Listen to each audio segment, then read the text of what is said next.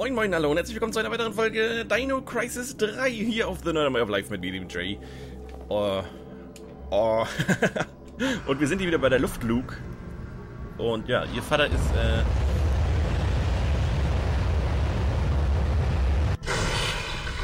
Da ist er wieder, der Psychomantis. Äh, ihr Vater ist der... Dude. Ja, was soll ich sagen? Wie ging denn das jetzt hier? So ging's rauf und so ging... Nee, andersrum. So ging's runter, so ging's rauf. Alles klar. Ran an den Feind. Ja, schön, dass du wieder eingeschaltet hast. Äh, freut mich sehr. Außenwand 1 der Außenwand ist. Ja, wir wollen ja zur Außenwand 2. Habe ich hier eine Karte eigentlich? Nee, ne? Fehler, ja, dachte ich mir. Na gut. Äh, was soll ich sagen? Ja, schön, dass du wieder eingeschaltet hast. Freut mich. Muchas gracias.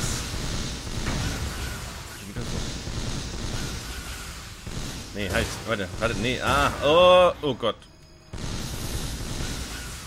Ah Gott, okay.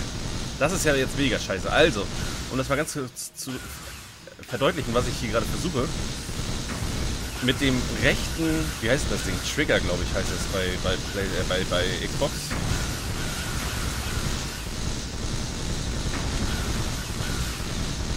Moment.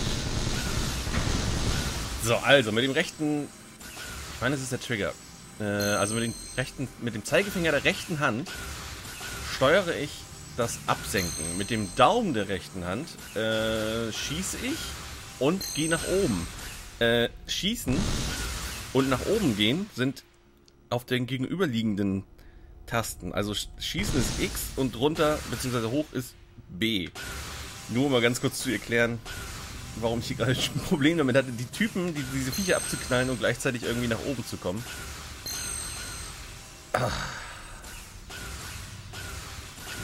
Spiel. Aber zumindest vom GHG habe ich ja schon öfter gelesen, dass er ganz beeindruckt davon ist, was ich hier leiste.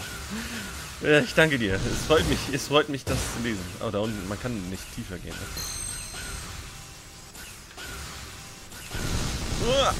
Und Digi, du hast ja auch schon geschrieben, äh, dass du ganz froh bist, dass ich genauso am Lulen äh, bei einem unbekannten Controller bin wie du.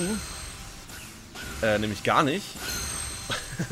Dazu muss ich mal ganz kurz sagen, Alter, ich kann mich nicht daran erinnern, dass einer von uns jemals nicht gerulert hat in irgendetwas, was wir aufgenommen haben. Ja. Oh, ich habe nichts zum Heilen. Oh, ich habe nichts zum Heilen. Sonja. Was hat sie eigentlich noch für Waffen? Hat sie noch irgendwelche derben anderen Waffen? Nö, nur die Pistole. Okay. Gut, dann darf ich mich halt nicht treffen lassen, wa? Ja, hab das glaube ich schon mal angesprochen. Es ist zum einen der Controller, der halt wirklich ungewohnt ist. GHG, du hattest ja geschrieben, der Xbox 360 Controller ist ganz geil.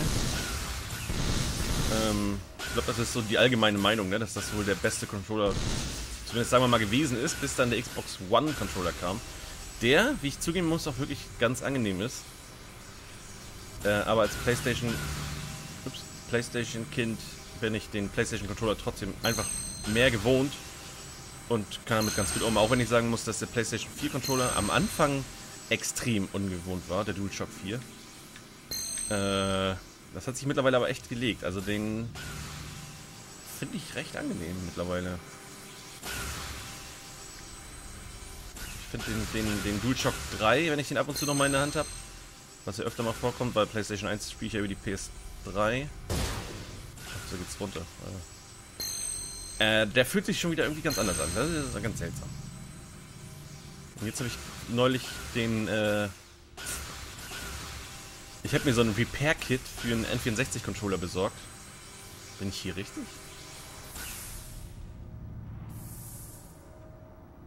Ich bin hier gar nicht richtig,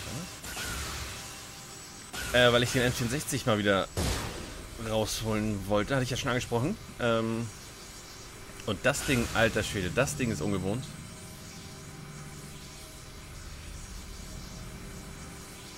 Ich halte den auch ganz anders. Ich habe, äh, als ich vor ein paar Monaten mit meinem Cousin mal wieder Diddy Kong Racing gespielt habe, ist mir aufgefallen, dass ich das Teil halte wie ein Erwachsener. Also, wie man sich das so vorstellen würde, wie jemand, der keine Ahnung hat, was er da macht, so ein Teil halten würde. Das, das war irgendwie ganz seltsam. Ah, hier.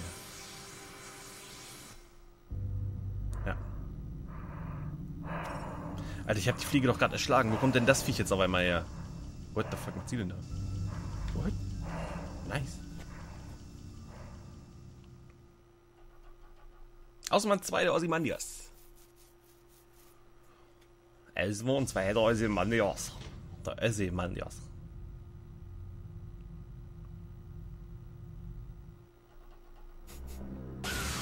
Vielen Dank für diese Cutscene. Darf ich jetzt hier irgendwo speichern und meine Punkte ausgeben? Ich würde gerne was zum Heilen kaufen. oh nein, oh nein. Oh nein, das schaffe ich nicht. Das überlebe ich nicht. Das werde ich nicht überleben. Ah, okay. Sieht nicht so viel ab, wie ich gefühlt habe. Werde ich trotzdem nicht überleben, weil die öfter schießen. Und ich habe die Perspektive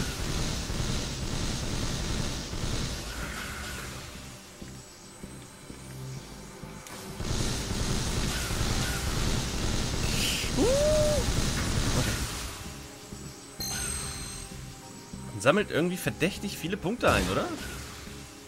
Das ist selten was Gutes. Es ist ja wie, bei, wie kurz vor Bossfights, wo man dann nochmal richtig ausgerüstet wird mit äh, Heil-Items und Munition und so. Das riecht dann immer direkt nach Bossfight.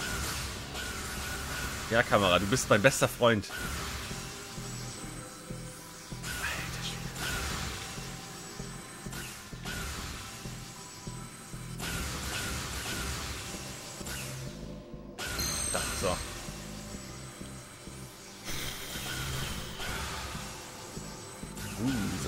Äh, mir fällt gerade auf bei der Musik. Ähm, ich hatte ja letztes Mal, in der letzten Session hatte ich glaube ich das schon angesprochen, dass mir die Musik irgendwie, die erinnert mich sehr stark an Kingsfield. Und jetzt habe ich gestern, äh, wie der Zufall, wir wieder ein Kingsfield Let's Play gesehen, beziehungsweise es ging halt weiter, das, das Kingsfield Let's Play.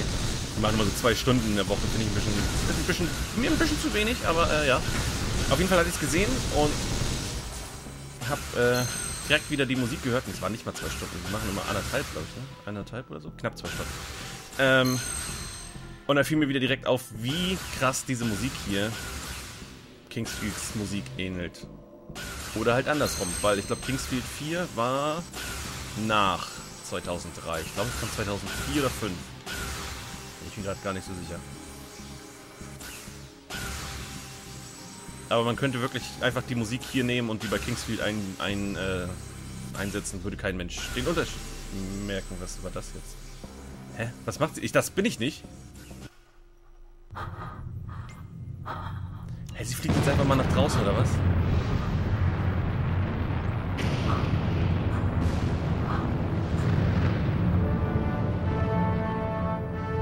Okay, die Musik würde dann doch schon auffallen.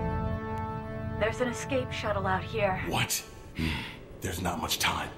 Regulate the energy level first. Yes, sir.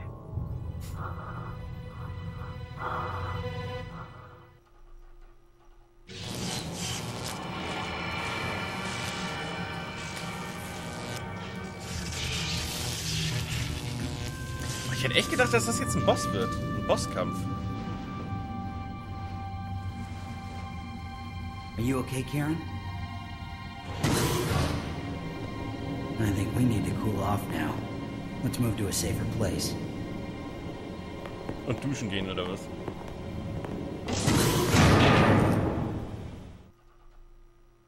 Patrick ist auf dem Weg zum Crewverwaltungsraum. Sonja ist inzwischen zur Hauptbrücke zurückgekehrt.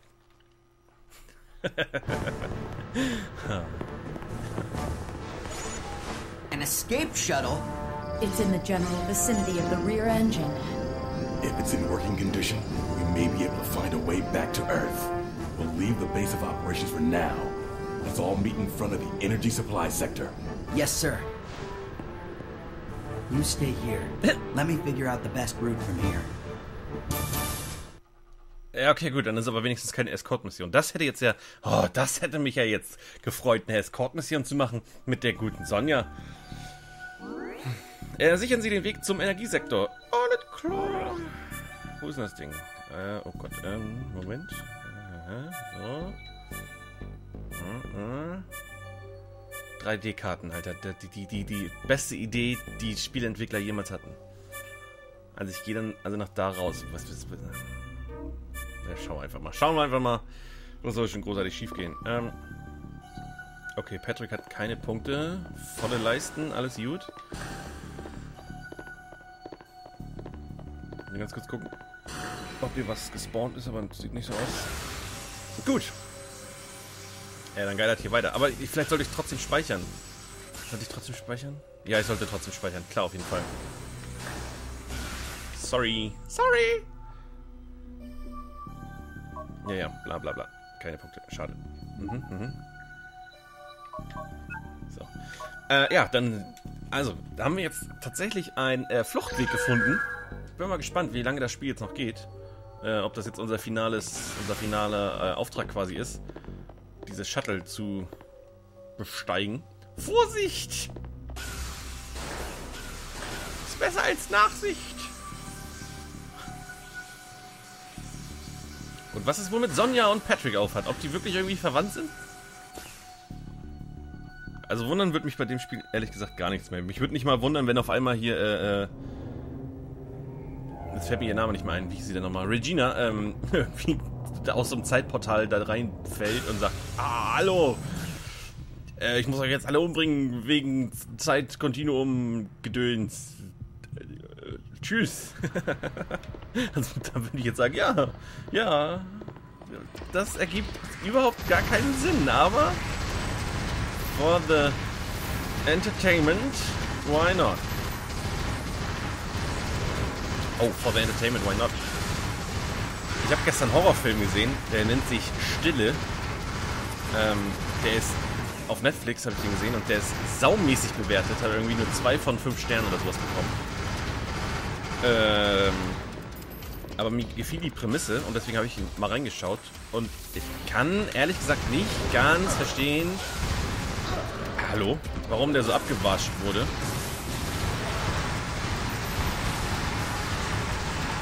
Äh, es wirkt zwar wirklich so, als hätten sie viele, sind, wären sie viele Kompromisse eingegangen für halt die Unterhaltung, aber ähm, wenn man da mal ein bisschen drüber weg sieht, weil die Prämisse ist einfach cool. Das ist einfach, und das würde nicht, es würde anders einfach nicht funktionieren. Ich habe die ganze Zeit auch da gesessen und habe gedacht, ja, nee, ja, nee, ja, nee, aber eben weil es halt anders nicht funktionieren kann. Ja. Also Stille, kann man sich mal angucken. Hush im Englischen, also H-U-S-H. Ähm, die Prämisse selbst möchte ich nicht verraten, aber ja. Schaut mal rein, falls ihr die Möglichkeit habt. Gibt es bestimmt auch noch auf anderen Plattformen hier, äh, äh Amazon Prime, was gibt's da noch, Watch Ever und so. und ich hatte ja schon Heil-Items gekauft, wieso renne ich denn hier rein? Falscher Knopf, falscher Knopf. Wie bin ich da überhaupt hingekommen? Also zu dem. Wie, nee, egal. Ach, wegen for the Entertainment. Right. Gut, mal gucken, ob die Dudes hier jetzt rumrennen. Vermutlich ja und sagen, hol mal, hol mal Karen ran. Ich folge, sobald ich alles rausgefunden habe. Du kannst gehen. Um den Energiesektor zu erreichen, muss der Formationswechsel im Schatz Schachtsektor aktiviert sein. Aha.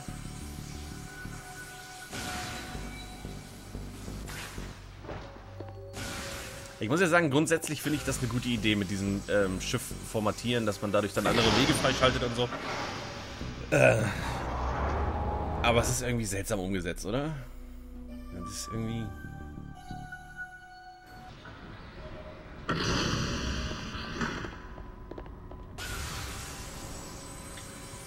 Wirkt so ein bisschen wie... Also man hätte noch ein halbes Jahr reinstecken können, so an, an Nachdenken.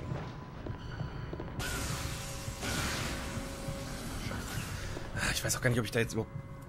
Ich meine, ich soll das Ding jetzt irgendwie... Ich soll ja die Sachen jetzt hier sichern, aber... Oh, bin ich jetzt... Bin ich schon zu weit? Ja, bin ich. Okay.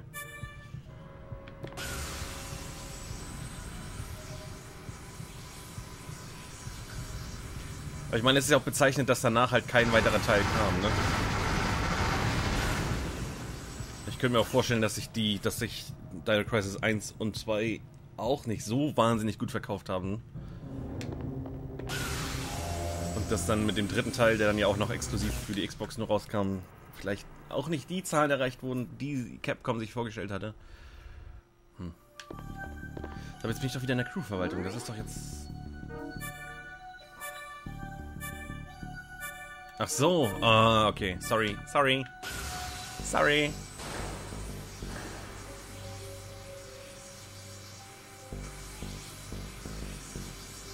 Das ganze Survivor-Ding würde mich immer noch interessieren. Wie das wohl so ist. Aber naja. Okay, jetzt bin ich hier.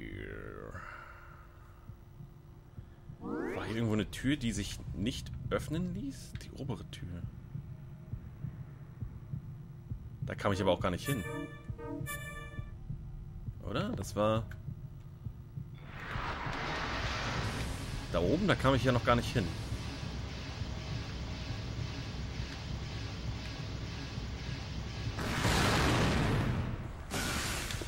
Da könnte ich mir vorstellen, dass ich da irgendwann später rankomme.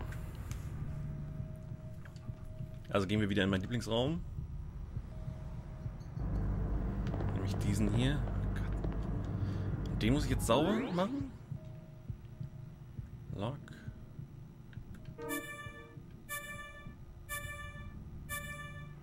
Da denn für Geräusche?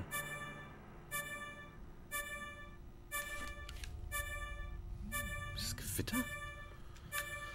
Kann sein. Äh, okay, also wir müssen höher.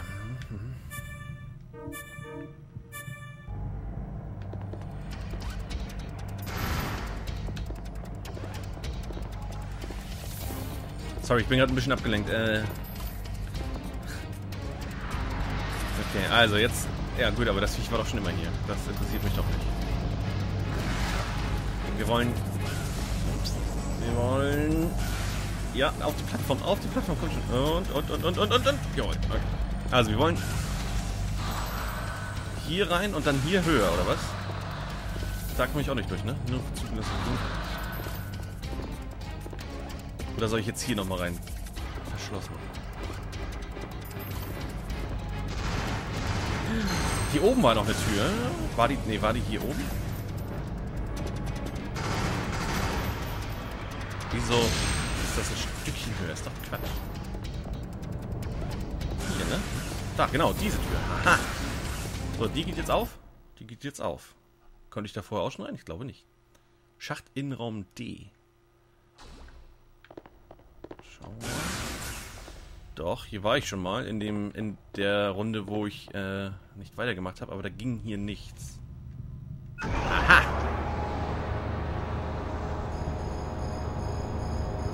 Uh!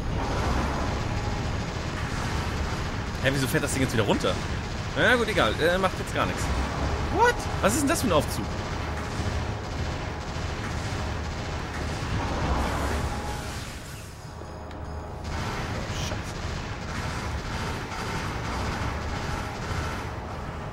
Was, was, was, was, was?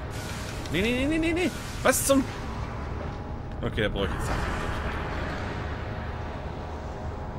Äh... Alter, ich mache hier nur noch Geräusche. Ich rede nicht mehr, ich mache nur... Hä? Oh, oh, was zum... Alter, was zum... Yo. Okay, das machen wir in der nächsten Folge. Das, ich brauche kurz eine kleine Pause. Ich bin hier zu abgelenkt. Äh, ich bedanke mich fürs Zusehen. Ich hoffe, es hat euch ein bisschen unterhalten. Wir sehen uns dann, wenn ihr mögt, beim nächsten Mal wieder. Nee, vergesst es. Äh, bis dahin, ja, macht's gut. Und, kannst du, den machen wir noch tot. Okay.